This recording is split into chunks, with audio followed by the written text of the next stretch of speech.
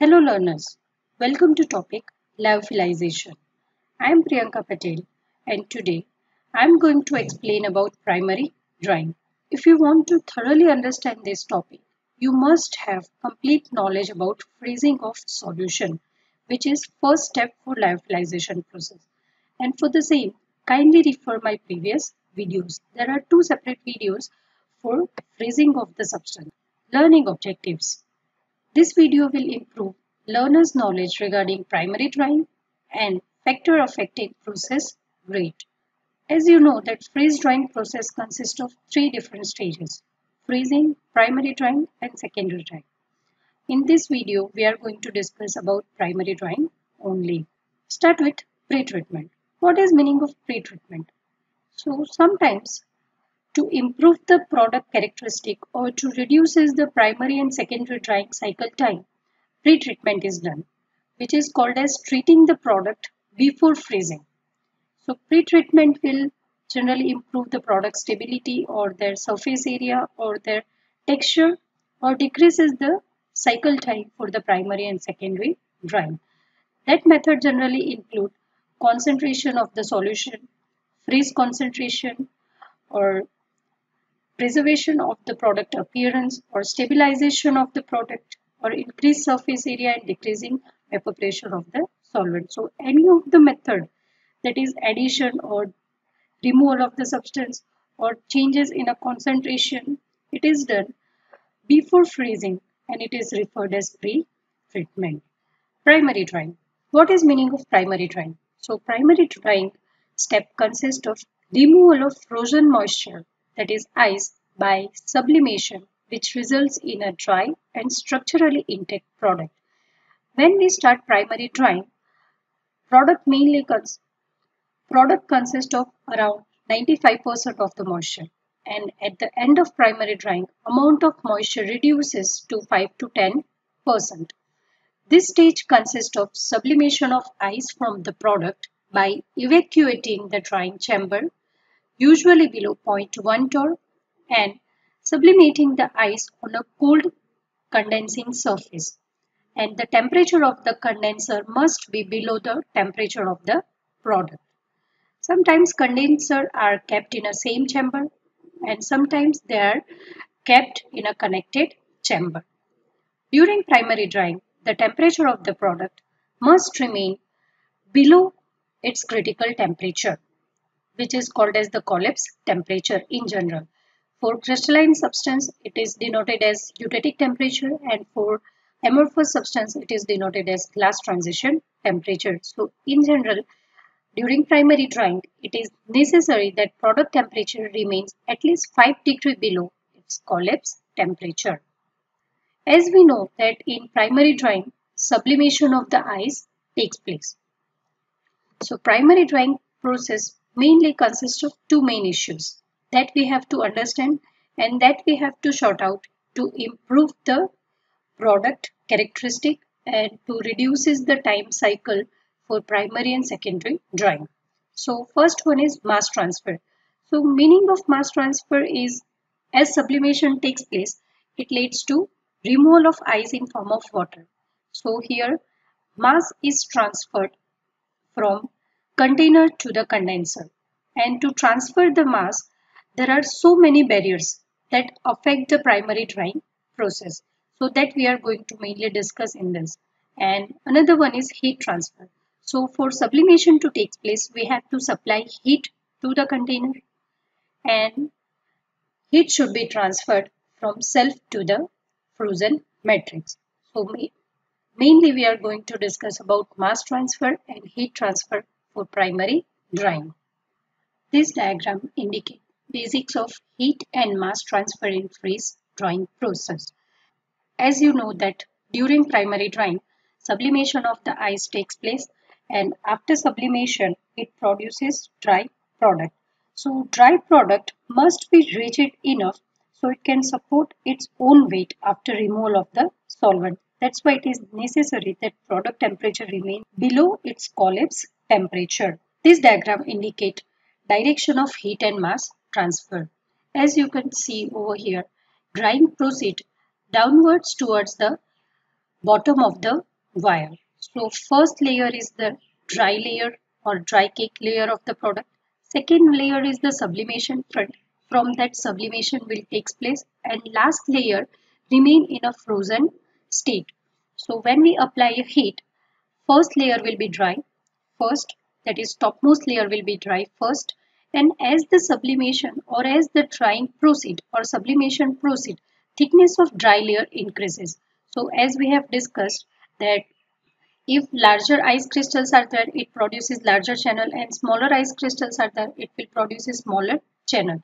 So as the thickness of the dry layer increases, it provides resistance for the sublimation to occur. That means it will provide resistance for transfer of vapor from container to the condenser. So as the thickness of the dry layer increases, it provides greater barrier for the transfer of the mass from bottom to the condenser.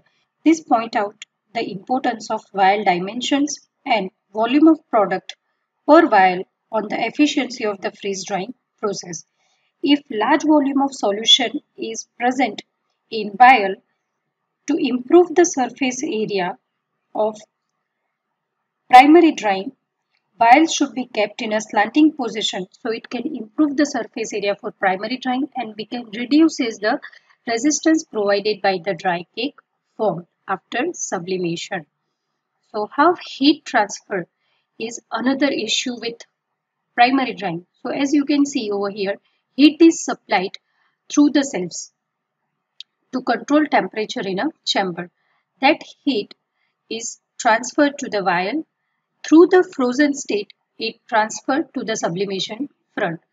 So in initial process, thickness of the frozen solution is more so it provides resistance for the transfer of heat to the top layer for sublimation to take place. So for primary drying and for sublimation, there are two main parameters which affect the process. That is temperature difference between product and temperature difference between the condenser. And another one is pressure gradient between sublimation front and chamber. So as I have explained in diagram, primary drying, it requires careful control of two parameters that is temperature and pressure. General rule is that chamber pressure should be significantly lower than the vapor pressure of the ice at the targeted product temperature that is in range of 10 to 30 percent of the vapor pressure of the ice.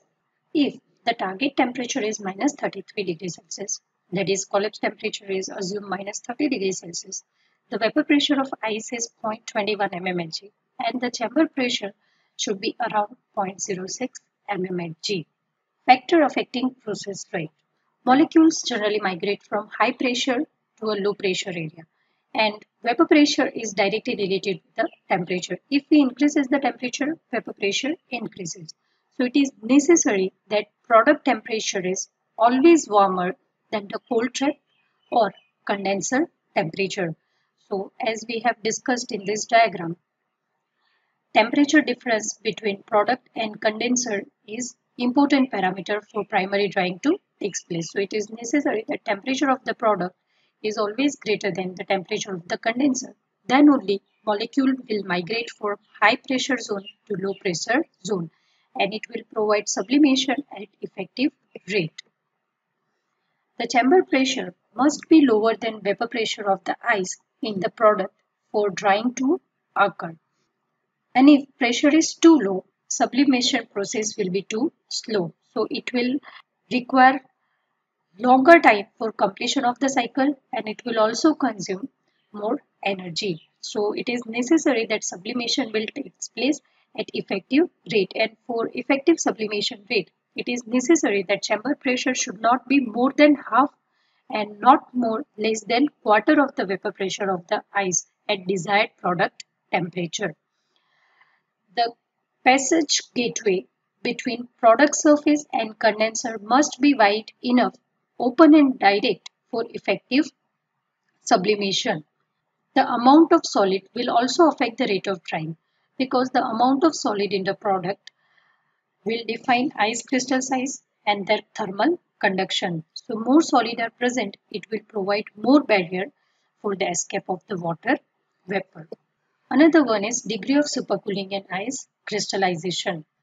So as I have already explained during my freezing video, so, so if cooling rate is fast, degree of supercooling will be high and rate of crystallization will be fast and it will produce a small ice crystal.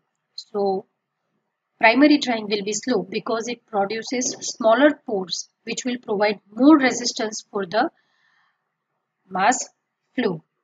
And when cooling rate is low and degree of supercooling is low, it will provide slow rate of ice crystallization so it will produces large ice crystal and it produces large pores and decreases resistance to the mass, eutectic melting and collapse.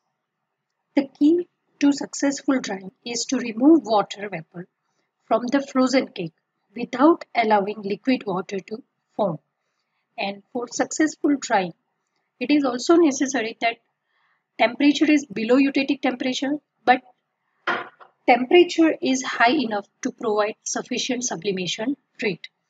If we consider every 1 degree increase in a temperature, about 13% increase in a sublimation rate. So eutectic melting involves melting of the eutectic phase and therefore it occurs throughout the frozen material. It results in a drying by evaporation of water from the liquid phase and collapse is generally deals with amorphous system analog of the eutectic melt. If product temperature rise above the collapse temperature, the amorphous solute water system gains sufficient fluidity and undergo viscous flow once the ice in that region has been sublimed. To prevent the collapse to occur, sometimes solutes are added which have tendency to get crystallized out. So that leads to increase in a collapse temperature. So sublimation can be performed at higher temperature. Annealing or thermal treatment is also done to convert the metastable state of the system to the crystalline state. End point of primary drying. Primary drying ends when almost 95 to 90% of the moisture has been removed from the product. Indication of the primary dryings are increase in a product temperature. That means when most of the moisture is removed, temperature of the product increases and it try to attain the temperatures as that of the shelf temperature. Another is the pressure rise test. So generally, drying chamber and condenser are separated by the valve.